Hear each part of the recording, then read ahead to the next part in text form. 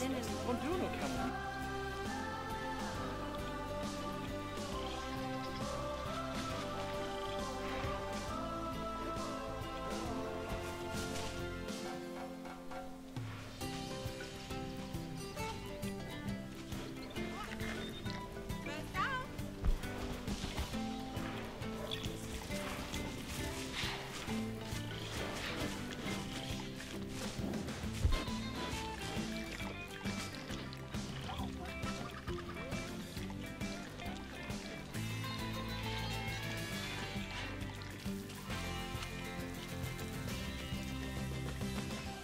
Zdravím všechny fanoušky kanálu Krobot, všichni milovníky zvířat Planet Zoo.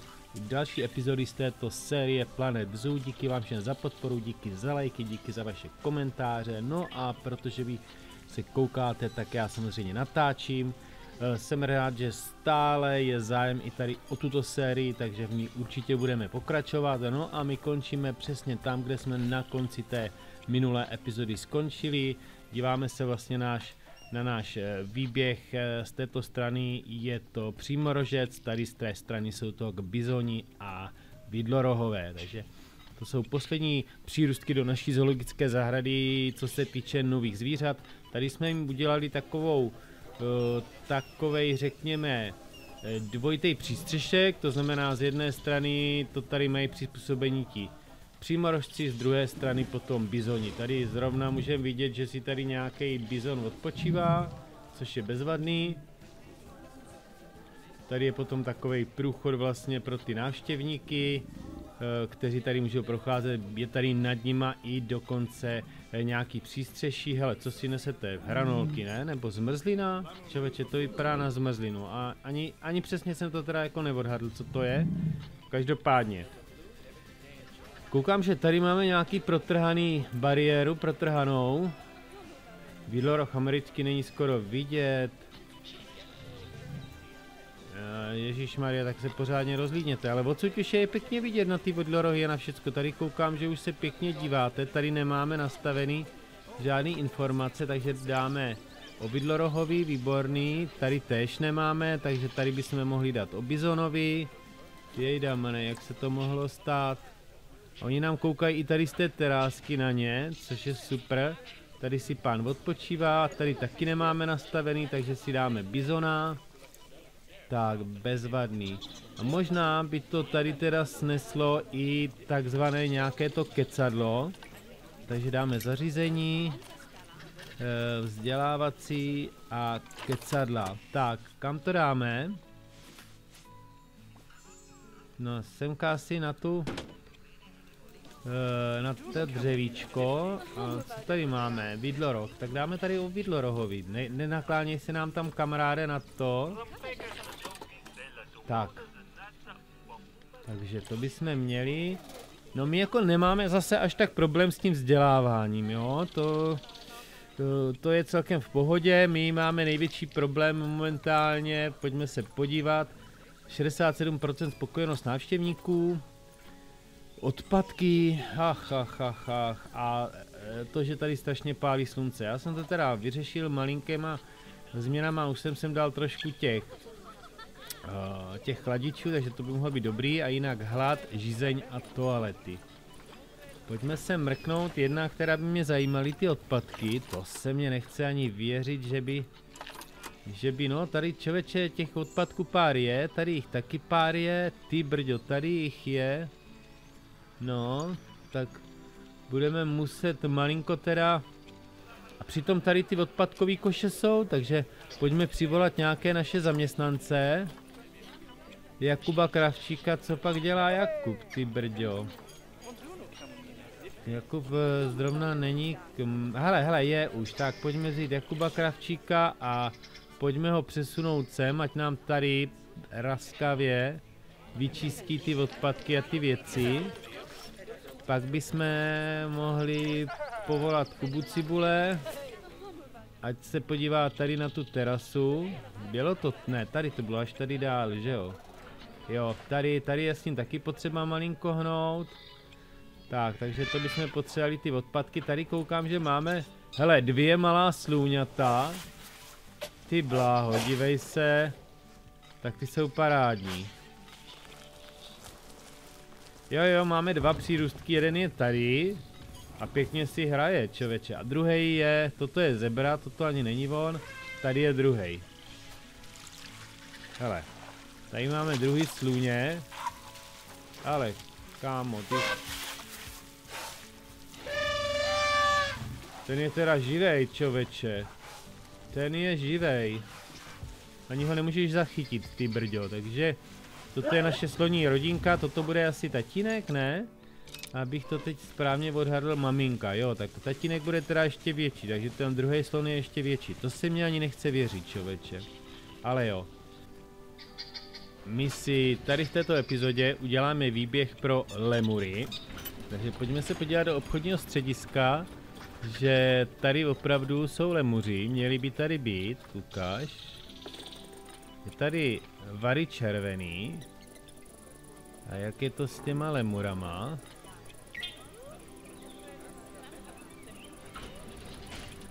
Lemur, tady, tak, tady, moc jich tady teda není, člověče.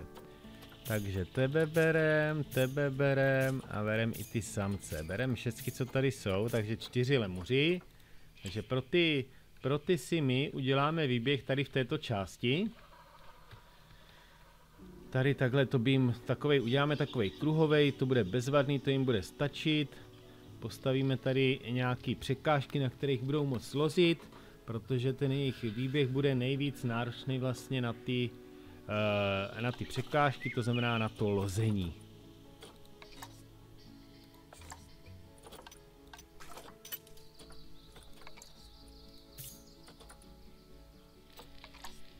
Tak, Lemurkata, odkud on je? Já jsem posledně mluvil špatně o tom, uh, o tom přímorožci, tak teď si to musím malinko líp zkontrolovat, ať vás tady potom nějakým způsobem nemystifikuju. Lemurkata.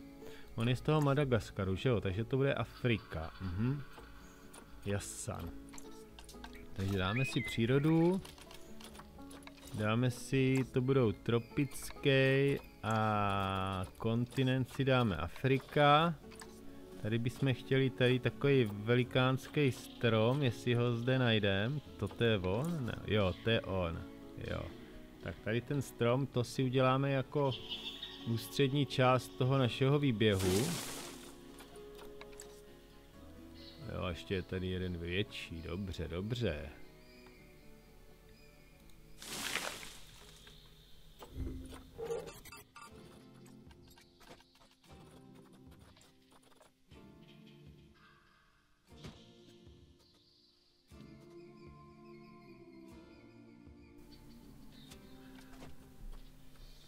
No jak jsem říkal, tak tady ty dva stromy budou centrem celého toho výběhu, těch lemurů. A kolem nich si potom postavím prostě různé prolízačky. Zkusíme postavit nějaký velký prolízačky opravdu na dvou stromech, zkusíme je nějakým způsobem propojit a uh, vlastně udělat nějaký jaký velký pluris, pluriskárium, uvidíme, zkusíme na to využít uh, většinou tady ty záležitosti z toho výběhu, které jsou právě určený pro to lození. To znamená ty různé dřevěné rampy, uh, jsou tady i nějaké sloupky, tady toto, takže toto určitě bych chtěl využít tady na vystavění tady té záležitosti kolem těch dvou stromů. Použijeme ještě z výstavby potom lana, takže kromě tady těch ramp, žebříků, bych chtěl udělat, teda těch ramp, ano, těch žebříků, tak bych chtěl udělat potom ještě provazový žebříky, takže z té výstavby využijeme lana na to, aby jsme postavili nějaký provazový žebříky. Ono totiž eh, i to lano celý samo o sobě je um, jakoby materiál, po kterém by ty opice, ti lemuři lozili. Takže zkusíme to takhle postavit, tady už se nám rýsuje pěkný domeček. No a těch domečků právě tady postavíme několik. Eh, jinak ten výběh eh, bude, mám pocit, kolem tisíce metrů, což bude docela dost na ty lemury, jestli jsme se dívali, že on potřebuje nějakých 250-270 metrů. Takže jsem se rozhodl, že jsem kromě toho lemura kata, že bychom se mohli dát i vary červenýho. Oni vlastně můžou být spolu ve výběhu, dokonce jim to dává bonus za jako mezidruhový bonus 20%, takže jo, to uděláme takhle, dáme si sem prostě jednak toho vary červeného, teda tohle murakatu a k němu i toho vary červeného. Přece jenom ten výběh bude malinko zajímavější pro ty lidi a budou nám tam možná třeba i víc chodit. Takže tak a samozřejmě, protože lemur a vary teda obecně dohromady jsou jedny z mála zvířat, u kterých může návštěvník do výběhu, tak eh, samozřejmě využijeme i tady ten benefit, který ty dvě zvířata nabízí a uděláme ten výběh průchozí, takže postavíme si tam nějakou cestičku skrz tady ten výběh, aby se ti návštěvníci mohli potom přímo dívat na ty zvířata, bude to určitě po ně atraktivnější. Tady už se nám, tady už se nám staví první žebříky, takže to máme, postavíme tady jenom nějakou ohrádečku nahoře, budeme mít obestavbu toho druhého stromu. No a můžeme se pak pustit eh, na ty provazové žebříky, což bude samozřejmě takový malinko voříšek. A naskládat ty lana, ale neměl by to být zase takový problém, no. Eh, určitě to teda tady ty lana nadělají docela hodně parády. Jasný, jasný, tady už se nám to pěkně rysuje. No jak říkám, já jsem se snažil tady využít jenom ty základní materiály tady z toho, z toho výběhu a není tady vlastně použít vůbec jinak, kromě těch lan, žádný jiný stavební prvek. Takže uvidíme.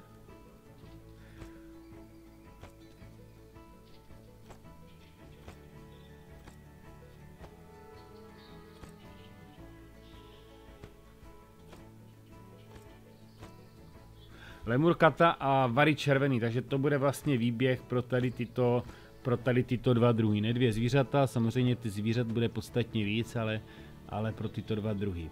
No jinak, eh, díky vám všem za podporu, už jsem to říkal, díky za lajky, díky za komentáře, eh, vážím si toho, že stále sledujete tady tuto sérii a samozřejmě eh, série u Planet Zoo je série, která bude dál pokračovat, určitě nekončíme. Je možný, že ty videa už nebudou vycházet tak eh, často, jak vycházely předtím, to se může občas stát, ale eh, určitě jednoznačně prostě videa z této série na tomto kanále budou dál, budou se dál u, u, objevovat, budu dál natáčet eh, tady tyto videa, takže nemusíte mít strach, tak jak mě někteří píšete do komentů přímo, nebo či dokonce i do mailu. Určitě nemějte strach, videa z této série budou dál eh, vycházet, eh, určitě nekončíme. Je pravda, že jsem se na to díval, že po nějakých už No, měl jsem to spočítaný onehda, ale to přes 100, 108, kolem 180 dílů eh, vš, vlastně ve všech eh, playlistech už je teda opravdu úctyhodný číslo. Hodně jsme toho natočili, hodně jste toho obkoukali, no ale samozřejmě jenom díky vám, že vy to sledujete, tak já ty epizody natáčím. Určitě bych to nenatáčel, kdyby se na to nikdo nedíval, takže pokud vy se budete na to dívat, tak já stále dál budu ty epizody i z toho Planet Zoo natáčet a určitě se můžeme těšit ještě na další DLCčka, myslím si, že to nezůstane, že nezůstane jenom u tady těch dvou, i z uh, Arctic Paku a South America Paku, jo, takže toto určitě nás tam čeká ještě plno zajímavých věcí. A i v rámci té, i té hry je ještě plno věcí, které jsme neproskoumali. Minimálně třeba je to mod kariéra, kterého jsme teďka nějakou od kterého jsem nějak, na nějakou dobu upustil, ale do budoucna určitě budu chtít eh, minimálně dohrát česky ty kariérní módy a to třeba už z toho důvodu, že za to je achievement, který bych rád získal, už mě jich zase až tolik nechybí, takže to jsem chtěl jenom na stranu tady toho eh, Planet Zoo a obecně kanálu, protože bez fanoušku Planet Zoo by dneska tady ten kanál Krobot nebyl tam, kde je. Určitě mm, eh, fanoušci hry Planet Zoo na tom mají lvý podíl na tom, že ten kanál je tam, kde je, protože na těchto videích jsem vlastně tady tento kanál vystavěl, takže nemusíte mít strach, určitě budeme pokračovat. No a tady už se nám začíná stavět jakoby uh, bariéra, to znamená bariéra kolem toho výběhu a už tady vlastně tvoříme ten vstup pro ty návštěvníky, jak jsem říkal, uděláme to průchozí, protože je to jedno z málo zvířat, který to tam eh, může mít. Takže dostavíme bariéry, dodáme tam nějaký zelení klasika, nějaký ty šutry a můžeme si tam nechat donést ty zvířata.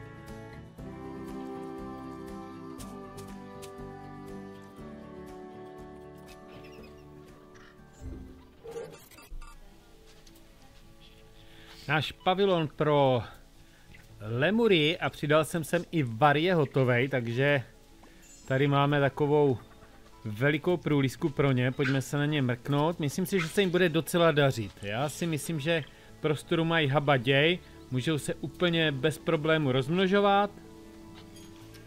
Bych potřeboval tak, abyste jako začali lozit po těch průlízkách, jo? To by se mně jako líbilo aby jsme viděli, jak dolezete nebo nedolezete. Každopádně, když si vezmeme tady toho varáča a mrknem se kam může, tak eh, samozřejmě studná plocha, jo. Tady všude, tady všude on jako dokáže vylézt, jo. Takže jenom otázka času, až jich bude hodně, tak já předpokládám, že po všech tady těch atracích, atrakcích prostě budou lozit. Tak, takže to bychom měli, už nám sem jdou nějací, sakryš, pardon, teď jsem špatně držel tlačítka, i nějací návštěvníci, Koukám, že jsou úplně unešení tady z těch vary. No, dobrý, ty oblapany, pěkně opálený čověče, pěkně opálený kamaráde. Kde máte maminku, kluci? Tak, takže, jo, ten nám běží po cestě ten vary, no my bychom jim sem ještě teda potřebujeme do toho výběhu dát jednu věc a to jsou obohacení. Pojďme si dát tady druhý, což jsou uh, lemur, kata a varikata. Kde je vary? Vary, tak. Ale tady jsou takový už jakoby hotový průlisky, jo. Aha. To nevadí, my jsme si udělali svoje a chceme jim sem dát jednak něco, z čeho budou jíst. Aha, to jsou, od toho jsou tady ty, ty plošiny, jo. Takže to dáme sem. Jednu žrací plošinu a druhou žrací plošinu dáme sem. Tak, takže tady bychom čekali, že budou jíst. Pitím sem taky dáme, i když je to de facto malinko zbytečný, protože předpokládám, že oni... Sakryš, tak. Oni se můžou napíje, napájet z toho jezírka. A ještě chceme nějaký obohacení, jednoznačně. Obohacení hračkami. Jo, počkej, tady toto. Mhm, to vende se mě to sem vůbec. Jo, vejde. Tak to dáme sem jednoznačně. To budeme muset ještě nějak zapravit do terénu. Pak tady toto, jasný, z toho si budou vyďobávat ty broučky. A ukáž, co jsme dali. Obohacení zvířete potravou, ale ještě teďka hračkami. Co byste chtěli za hračky? Ježíš, mankote. Oni chcou tady ty klavíry, tak eh, to není problém. Mm, tady ten, tady tu zvonkohru. Dáme to sem. Tak. tím byste měli mít, mnoho druhový bonus byste měli mít taky splněný, jako co byste chtěli, pojďme se podívat s čím by oni chtěli být ještě, Vary červený, koho by tam ještě chtěli mít, ne, jenom tady ti to, jo, to je v pořádku, to je v pořádku. No a celkem se nám sem lidi i hrnou, tak to jsem celkem rád, to je v pohodě, to vypadá moc pěkně. Takže myslím si, že tady tento výběh bude mít zase určitě, určitě úspěch. Jo, jo, ženou se sem lidi, to je fajn. A hele, dokonce nám stoupla i spokojenost, no nekecej, nekecej. Jo, to je fajn. No takže v té další epizodě potom uh, mám v plánu, tady mě napadlo, že by mohlo být nějaký, nějaká voda, nějaký jezírko. Tím by jsme, uh, tím by jsme vyplnili tady to hluchý místo. To bude asi to, co bych tady chtěl udělat. No a uvidíme, jak budeme pokračovat dál. Ukáž, tady se musím podívat, kde už si tady hrát tady s tímto. Jo, jednoznačně. Jo, bezvadný, no, takže takže to bychom měli, no. Postoupili jsme dál, máme tady další zvíře, Vary a Vary červený a lemur kata. No a jak jsem říkal, v té další epizodě určitě začneme tady s tímto prostorem, který budeme muset nějak eh, vyplnit. A tady do toho, do této části potom uvidíme, uvidíme co další zvířata, to bych zatím, to bych zatím neřešil, nenechal, to ještě je daleko. Ukaž jste tady. A ještě bych potřeboval, aby vám donesli to jídlo. Ten, co si tady jako pochutnává na nějakých broučkách nebo na něce, na něče. Ty blaho, to byl řev. Ty jo, oni umíjou zařvat. To zřval tady na ty návštěvníky? Nevím, nevím. Takže, každopádně díky vám všem za sledování, díky za lajky, díky za vaše komenty. No a budu se těšit u dalšího videa z Planet Zoo. Mějte se fajn a zatím čau.